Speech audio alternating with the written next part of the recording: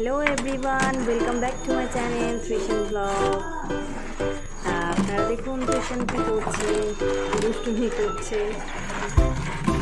প্রচণ্ডই দুষ্টুমি করছে মানে কাউকে বসতে দিচ্ছে না, সবাইকে টুল থেকে নামিয়ে ও অনবরত গোল গোল করে ছাদের মধ্যে ঘুরেই যাচ্ছে। যাই হোক, আপনারা দেখে থাকুন ভিডিও। হ্যাঁ আপনাদের সাপোর্টটা প্রয়োজন খুবই আমাদের। আমরা নতুন জার্নি শুরু করেছি। আপনাদের সাপোর্টটা একান্তই আমাদের প্রয়োজন তো লাইক করুন শেয়ার করুন কমেন্ট করুন অ্যান্ড ডু সাবস্ক্রাইব প্লিজ